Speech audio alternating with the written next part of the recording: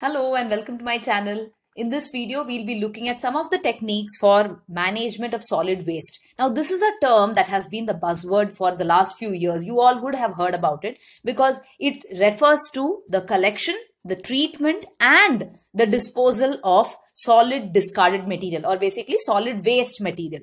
Now, why is this such an important thing? Why, why is it that people in all the cities across the world are looking at good solid waste management practices or effective solid waste management practices? The reason being, whenever there is improper disposal of waste, it ultimately causes environmental degradation. We are adding on to the pollution. Immediately what you see is soil pollution or land pollution. You might have all noticed it in your cities or the towns that you live in. If waste is dumped at the corner of the road, it leads to pollution. A lot of flies start coming over there. You have rodents coming over there. There's more of insects that start you know breeding over there these all the rodents the insects these are all carriers of disease so ultimately not only does it cause environmental degradation and pollution it also causes a lot of improper or detrimental health effects because these carriers of disease are now going to spread various communicable diseases.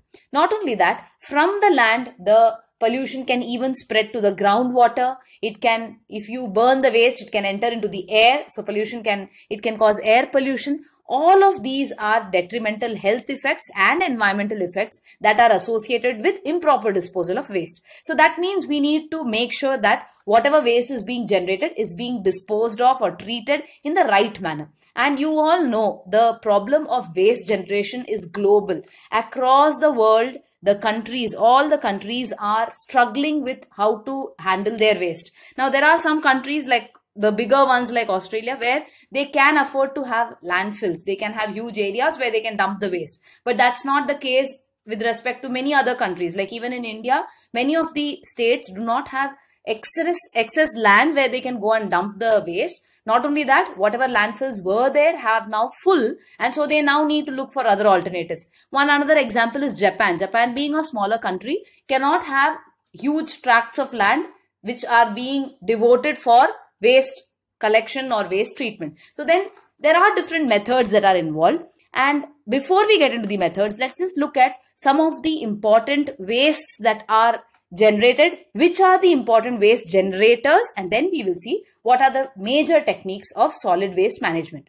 Now, you would have seen waste being collected in your towns or the roadside. Some of you may have even seen waste that pops up in the lakes or you know in the in the on the river side you might have seen a lot of plastic waste that is getting generated this is one example of waste that is found in the oceans oceans are laden with garbage there's so much of garbage which is floating or moving through the currents from the coasts into the ocean now this is the example of great pacific garbage patch it's basically a collection of marine waste, marine debris that is found in the northern Pacific Ocean. Now, this marine debris is basically, you know, the all the waste that is coming into the ocean or the seas from the coastline. This Great Pacific Garbage Patch, if you see over here in the map, it is also known as the Pacific uh, Trash Vortex and it is present it is extending from the western coast of North America. So you can see over here from between the states of uh, Hawaii and California, it is extending from here all the way till Japan. So this is the Japanese coast all the way across over here due to the water currents. All the waste that is present in the ocean is getting pulled in over here, is being sucked in over here. They are converging over here to form this big patch. Now, in some cases, the patch may be seen like this in the oceans, but in, with respect to the Great Pacific Garbage Patch, it's more of microplastics that are present over there. Now, these microplastics are plastics of very small size. They are non-biodegradable. That's why they start accumulating and they are having size which is in microns or micrometers. That's why they're called as microplastics. Microplastics cannot be seen with the naked eye. So you might not see such a pile of garbage like this. My, the microplastics which are present in the Great Pacific Garbage Patch, often they'll just be present in the water and the water will look very turbid. It will look very cloudy. It will look like, a, you know, a thick a turbid soup or a thick cloudy soup. And that area is also having along with the microplastics there are also many many bigger trash or bigger garbage which is floating over there like fishing gear or it could be shoes or it could be nets which are floating in the water. Not only that the garbage patch is not just restricted to the surface. Below the ocean that is in the sea floor that is under the garbage patch there's a huge amount of debris that is going and sinking over there. So to the bottom of the ocean if you see there's a large amount of debris that is present over there. We still have not been able to find out how much is there how much garbage is there. But when we see we know that there is a big vortex over here which is accumulating all the garbage from the nearby areas. So this is one example of how improper waste disposal can lead to degradation of our oceans. Now, these are the different waste generators. So, if you see here, it includes residential complexes where you mainly have, you know, families and from there you have a lot of food waste that is generated. You can have paper and cardboards, you can have clothes, textile waste that is generated. There can be a lot of electronics, e-waste that is getting generated, oil. These are some of the common waste that are generated from the domestic setup or from the residential setup. When you see industrial setup, the type of waste varies slightly because you have a lot of packaging material that comes in here, A lot of packaging material which is just dumped over there, which can be reused, but then it is dumped over there. There's a lot of food waste that comes in. We even have the waste that is coming from the scrap material, the metal, the tailings which are there, the metal tailings which are there during the manufacturing process, all of that is dumped into the waste.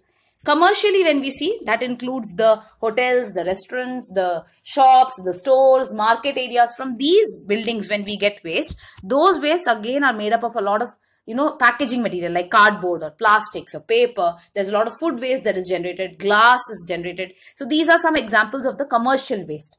Then we come up to the construction and demolition waste. This mainly includes construction materials like concrete or it could include a lot of you know particulate matter dirt that is generated wood steel these are some of the wood chippings these are some of the common waste that are generated from the construction sites we also have various other municipal services which generate waste. That is the services like cleaning of the streets or when there's a, you know, a, a, park being built, landscaping being done from the beach areas, recreational areas. All of these areas also generate a huge quantity of waste, which mainly includes, again, food waste is generated from there. A lot of sludge is generated, trimmings of the trees and finally from agricultural fields. Here we what the generated waste includes spoiled food spoiled uh, you know uh, plants the plants which are diseased in nature. We may even have pesticides and fertilizers which are attached to the plant. So that again is uh, considered as hazardous waste. All of these are examples of the waste generators and what exactly type of solid waste that they generate. Now to manage this these solid waste there are different techniques that are employed. There are many many techniques. I've just shown you a few of them few of the important ones. The major important technique that is followed in many of the countries in many states but of course which requires a very large area is the use of sanitary landfills. Now sanitary landfills is wherein garbage is dumped on a piece of land. Then that garbage is covered with either clay or sand. So it is sort of sealed with the clay or sand and you can have multiple such layers till that area is full. So that is what you call as a sanitary landfill. It is a very uh, you know easy way of managing the waste. Of course what you need to do here is that you need to have a large area. Incineration is burning now, incineration is one way where you can eliminate the quantity of waste because when you're burning them, the quantity of waste sizably reduces. But the problem here is that incineration or burning leads to the release of many toxic gases. Imagine you're burning a plant waste which contains fertilizers. When you burn it, those fertilizers get converted into compounds that enter into the air. So you're basically causing air pollution. So incineration is done in many of the countries. In, in, in even in our country, I have seen incineration being used in the countryside. Domestically, people burn their waste. But the problem there is that they are adding on to the air pollution. Volume reduction is something that is done before dumping the waste into the landfill. So volume reduction is usually done by shearing where you cut down the pieces or you grind the waste or by compaction you reduce the volume so that they do not occupy much space in the landfills. We can even have recycling and biodegradation as waste management techniques. In fact, these are the only worthy solid waste management techniques. These are the this is the only answer. Reduce, reuse and recycle so that those wastes which can be converted into compost can be subjected to biodegradation. So you allow them to be degraded with the help of enzymes or microorganisms into compost and then that compost is used in the field and whatever cannot be degraded. Whatever cannot be broken down or converted into something useful you recycle them. So that finally the amount of waste that is generated which can neither be recycled nor be degraded only that goes into the landfills. That saves us a lot of space. That saves us a lot of money as well because you're recycling over here. Apart from these there are many other alternative uh, waste treatment techniques such as fermentation. In some cases, pyrolysis is used where high temperature is employed. Gasification is done. But like I said, when the quantity of waste is very large, these are some of the more um, efficient techniques. These are the techniques which can be used. Now, to make sure that in India, the solid waste management is being done in the right way, we have a set of rules which were put in by the Ministry of uh, environment forest and climate change in 2016 so they came up with these solid waste management rules. In many of the literature you will find it abbreviated as swm rules. Swm rules or solid waste management rules are basically a set of guidelines that have to be followed in all the states of India. It was notified in April 2016 and before this there were other rules as well. There were other acts as well such as the municipal solid waste rules which was in 2000. But then once this solid waste management rule came in that has now superseded all the previous rules. So under this solid waste management rules, the government is trying to, you know, it, it, uh, it comprises of stakeholders from all the central and state authorities and they are trying to imbibe the the action or you know the segregation of waste at the source. So what they are trying to do is they want people or they want establishments if it's a commercial establishment to segregate the waste so that the waste can be channelized into the wealth. And they want this to be done at the source. So that is what is shown over here in this paper clipping wherein you need to segregate at the source as waste which can be either biodegradable you know uh, recycled you can convert them that is organic waste can be there. So this includes all the vegetable waste or it can be the toilet waste the sanitary waste which is put into the red bin and dry waste which is you put into the blue color bin. So based on this you are segregating it into three different bins three different uh, parts where some can be recycled into some other product. Some of it can be degraded so you can convert that that is the wet waste which can be converted into compost. And there's also the sanitary waste which you cannot recycle neither can you reuse. So that is considered as the third type of waste. Under these rules these are some of the main features of this rule. Under this rule under these solid waste management rules the rules specify the duty of the waste generators. That is at the source. Whether it is a residential complex whether it is a, a, a, domestic setup whether it is a construction area whatever it is wherever the waste is getting generated certain duties have been given to the waste generators. Basically the duty of the segregation as per rules. Secondly, they have also given duties to the Central Pollution Control Board. So the Central Pollution Control Board, along with the government has established a central monitoring committee and the central monitoring committee will is required to meet once every year analyze and examine the enactment of these rules. So the central monitoring committee is going to see which all states are actually employing these rules which cities are not following it which cities are following it to the t. All of this needs to be done along with the central pollution control board.